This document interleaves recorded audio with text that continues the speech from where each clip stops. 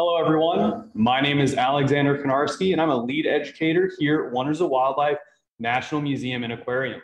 I want to thank you all for joining us today as we move into our fourth and final week for the month of September. We've been getting to hear some really amazing things and meet a lot of awesome individuals, all who have helped bring us more learning about public lands and how we can enjoy them, as well as what we can do to help them.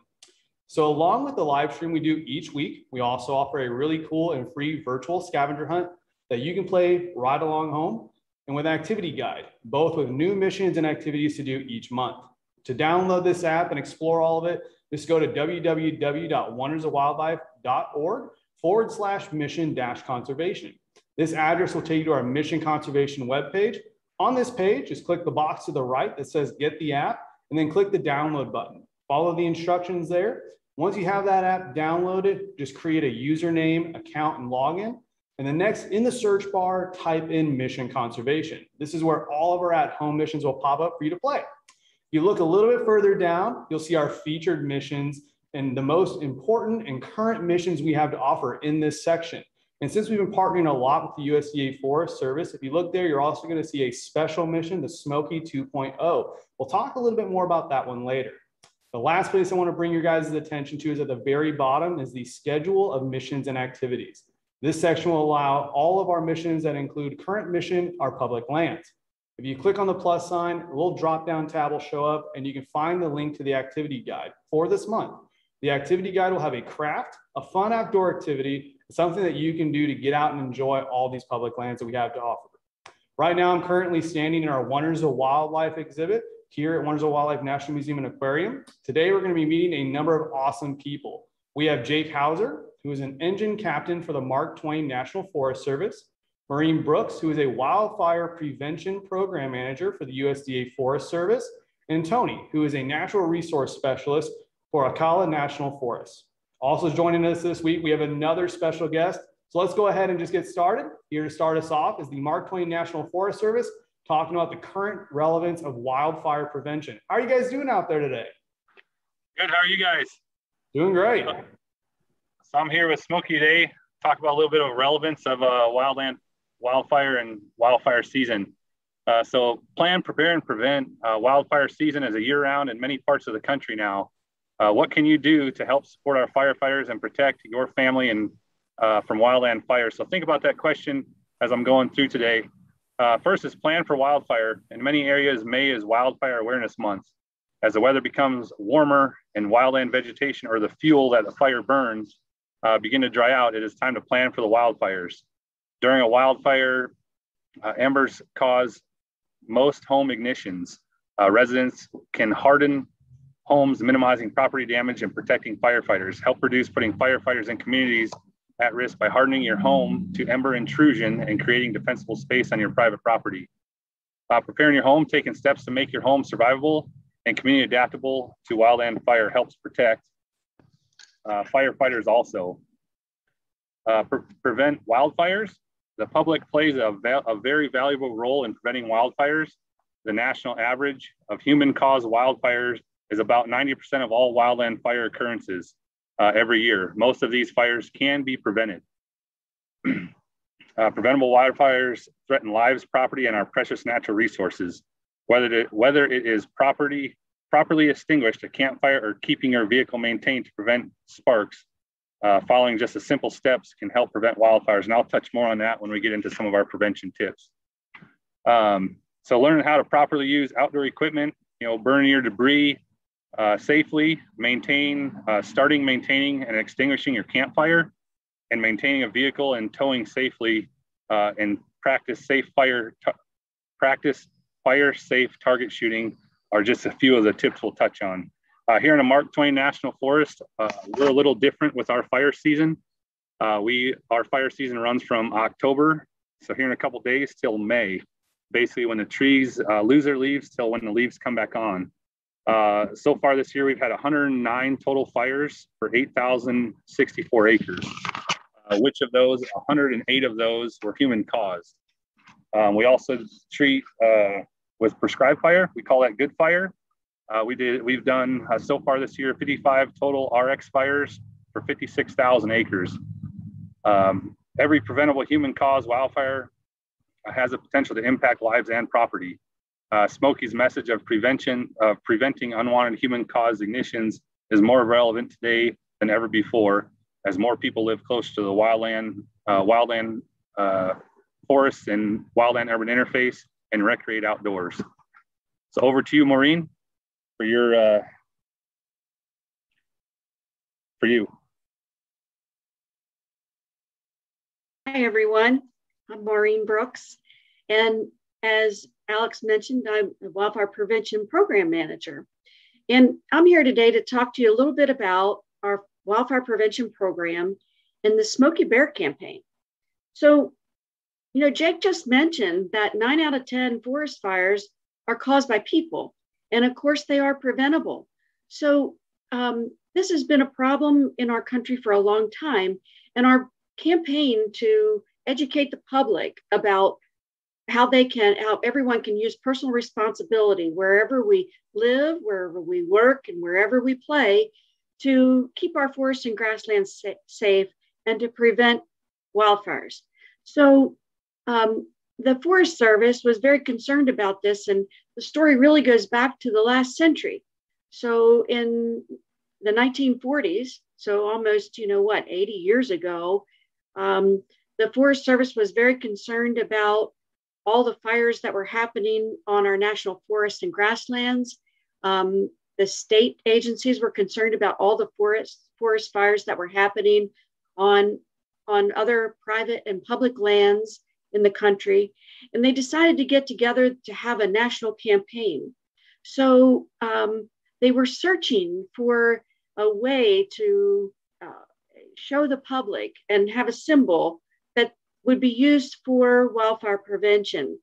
And um, the first year that they did it, they used Bambi. Some of you may remember Bambi from, from Disney, Walt Disney, but Bambi was borrowed. Um, we borrowed Bambi from Walt Disney and just for a short period of time until we could determine what what what what could we use to uh, as a symbol for wildfire prevention to get people motivated to um, to be safe when they're out. So, uh, but we settled on a bear, and the first Smokey Bear was used in a campaign in 1944, and has been used in our campaigns ever since. So Smokey's been with us a long time, um, more than 75 years, and you know he's he's still going strong, and he's out there teaching people how to prevent wildfires and what we can do to be safe. But some of you may know that there was actually a living Smokey Bear at one point, and I wanted to share that story with you. So, and, and this is actually a true story. Um, it started back in, um, in New Mexico, is where the story is set on the Lincoln National Forest. And there was a little cub that was born on that forest and lived in lived there in New Mexico. And um, one day, you know, he played around in the forest as as bear cubs would do, and he was a black bear, mind you. Um, he would one day there was a forest fire that started, and you know, people started that fire is one of the things we know from that. Um, and um, so people started that fire. And one of the things that happened then is that someone called the ranger, the local ranger. And from that, they ended up um, sending all the firefighters out to put the, put the fire out. Um, they call it the Capitan Gap Fire. And so firefighters were out there fighting the fire. There were firefighters from the State Game Commission, from the National Forest, and also a, uh, a crew of hotshots from called the Snowball Crew um, who were out there. Now, once they put that fire out, um, the firefighters discovered that there was a little cub that had gone up a tree and he was badly burned. So the firefighters then took took that little cub, got him down out of the tree. They then took him on to a um, a veterinarian where he um, where he was treated for his burns. He had burns on his paws, he had burns on his belly, and he really needed to be taken care of for a while. So uh, there was a family, the game warden's family, they took him in, and eventually um, that cub was uh, they decided that that cub needed to be somewhere where he could help with the wildfire prevention campaign. So the the folks there named him Smokey Bear after the after the poster bear that we had, um, and then he was flown from Capitan, New Mexico, across country all the way to Washington D.C., where he then had a new home in the National Zoo at Washington D.C. So he lived there um, for many years. Um, both that living Smokey and our Smokey in our campaign, uh, we call them the guardian of our forest because they are concerned about preventing wildfires on our forests and grasslands across the United States. Now, Smokey, Smokey's message really has like five rules that we talk about. Um, so it's pretty easy to remember, just five. And um, so he wants you to know them and learn them. So the first rule is, as his famous saying goes, only you can prevent wildfires. Think about it as you. You can do it. We, we all can do it. The second rule is uh, when you have a campfire or an outdoor fire, always be careful with fire. Um, that's Smokey's second rule. Then rule number three is one thing that we've we've talked about for a long time is never play with matches or lighters. Um, kids should always stay away from that. You're going to light a fire, it should be the adults that do that. And then rule number four is always watch your campfire. Never leave the campfire unattended, as we say. They're fun to enjoy, um, but always have somebody stay with the campfire. And you can see in the picture there that Smokey has uh, a bucket of water, and he also has a shovel with him uh, near that, that campfire. And finally, rule number five is when you are going to leave your campfire, make sure it's completely out before you leave it. So these are all rules that we can all remember to make things because make, make our forests and grasslands safer and more enjoyable to be outdoors. So now I'd like to turn it back to Jake and Smokey, who are going to give us a little, some more tips on how you can prevent wildfires. Thank you. Thank you, Maureen. So a few more uh, tips and stuff on uh, wild wildfire prevention. Uh, please keep wildfire prevention in mind when visiting your public lands. Uh, never park in tall, dry grass uh, and check for fire restrictions.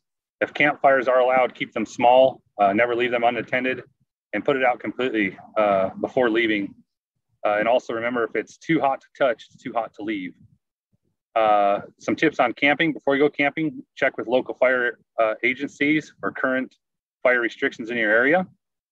Uh, clear all flammable vegetation away from your campfire area. use a, de a designated or safe pre existing campfire ring when possible uh, keep it small. Your campfire should never be larger than necessary uh, for cooking or personal warmth. Uh, never leave your campfire unattended and be prepared. Uh, have proper tools to extinguish a campfire before you light it.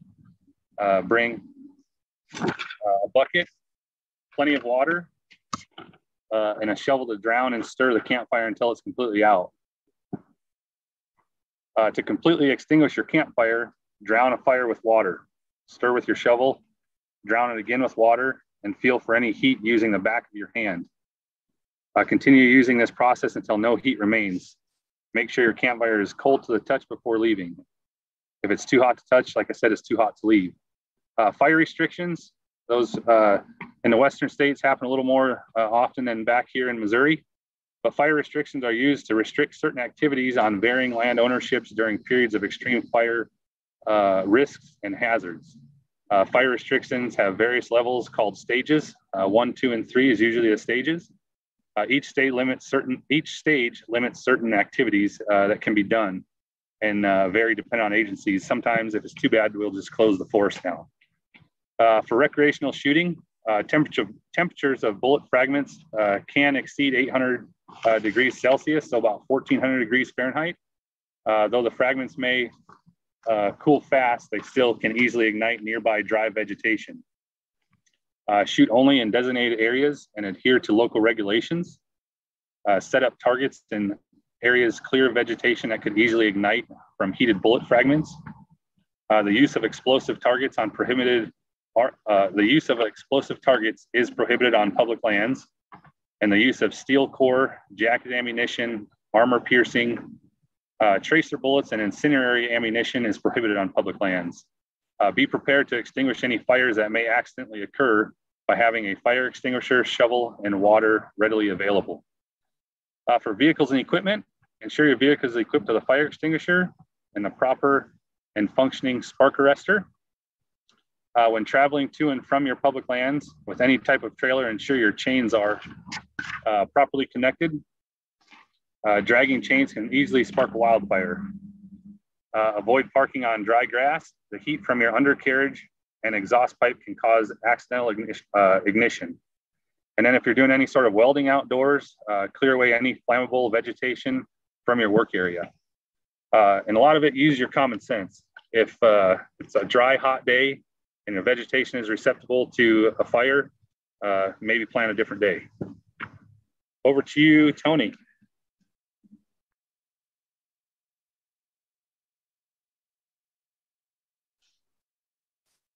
Well, hello, everyone. We have certainly had the opportunity to learn a lot about fire and my good friend Smokey Bear. I'm Tony Davis. I'm a natural resource specialist on the Ocala National Forest in North Central Florida. My forest is a part of that urban, that wildland urban interface that was mentioned earlier. And fire plays a major role in the ecosystem of Florida. October is Fire Prevention Month. And during Fire Prevention Month, I hope that we all can take the time to use fire safely, things to protect our property and help and help Smokey spread his message. The Agents of Discovery app is a wonderful way to learn about fire prevention and Smokey's mission. The Agents of Discovery app is an augmented reality or AR experience that offers a three dimensional playing experience. This free app, that's right, free app, can be downloaded in Google Play or the Apple Store. After you have downloaded the app, you simply open it up and search for the Smokey 2.0 mission. Once you have opened the mission, click on the challenges icon. The Smokey 2.0 mission offers 10 unique challenges that I promise will engage you. This challenge is designed to excite all learners in different ways. The mission takes place in Smokey's cabin. Agents will learn about good fire, bad fire, human caused fires, keeping your campfire from becoming a wildfire, and vehicle safety, just to name a few. So, upon completing the 10 missions, you have the, uh, the opportunity to gain a reward. Awesome, awesome, awesome. So, I'm going to show you the app here that I have on my phone because it is it is totally awesome. So this is what the app looks like. And so on the app, when you open up, the mission has directions. And the main thing to remember is you can play it, but to make, make sure you're safe. If you're going to play at home, you'll need an eight by eight area. So that includes if you're going to play outside, you need a, a cleared eight by eight. So make sure you have an eight by eight area that's cleared out of tripping hazards. And we just want you to have fun. We want you to learn and be able to know more about fire and the good attributes of fire. So it's a really cool thing to do. So I mentioned playing at home or playing outdoors. Either way, you can play at home outdoors, or you can play on the national forest, or you can play at school. So information regarding all the ways of playing can be found at theagentsofdiscovery.com. So you can go to that website and learn about the different ways that you can play. I recommend playing at home, playing at school, and playing on the forest. It's such an awesome app that the whole family can enjoy. It's always great to get out on our national forest and explore. And this is another tool to be able to put in your toolbox while you're out exploring and learning about the wonderful things that occur in nature. And fire is definitely a part of that. So, Alexander, I'm going to turn it back over to you at this time. All right, awesome. Hey guys, that was a lot of really cool stuff. I did have a question for Jake, and I want to see Jake, I know you talked a lot about me. We, you know that you're an engine captain. Um, when getting out there into the, you know, the nitty gritty, you know, actually being out there in the thick of it, what is some of the I know you covered a lot of the different things that can cause fires, especially like the human made ones. And we're talking about people that go out and camping and just kind of not knowing all the little things that they need to do and be aware of when they are leaving their campsite. But what would you say was the probably the most common thing that starts an unintentional uh, fire? I would say probably the most common is uh, lack of knowledge of what exactly one little fire ember can do. Uh, you know, we get gusty winds. It doesn't take very much for a gusty wind for someone burning some trash in their backyard to spread off to the, the nearby tree line. The next thing you know, the tree lines butts up to national forest, and then we've got you know a couple thousand acre fire in our hands. So I'll just say the uh, the lack of uh, knowledge of what one little ember can do and how destructive it can get. Okay, so I mean that definitely is a good point there. So just knowing, I know I've been around campfires before, and you know sometimes those logs will fall in, and you see kind of them shoot up. Sometimes it is really easy to kind of ride them off, and you know not really pay attention to them once they're kind of leaving the campfire area. But that is a good thing that we should be aware of and knowledge of is that we need to be watching where these things are going and trying to make Absolutely. sure they are, you know, snuffing them out, making sure they're not landing in anything else that could potentially catch. Because yeah, you, like you said, it could get out of hand really, really quickly. Um, yep. And then we talk about our fire principles, and we have our fire triangle. So we talk about like you know the heat, the fuel, and the oxygen. When you know we talked, you talked a little bit about you know when you're putting out a campfire, um, you know taking a shovel and like throwing some dirt or soil onto it and things like that.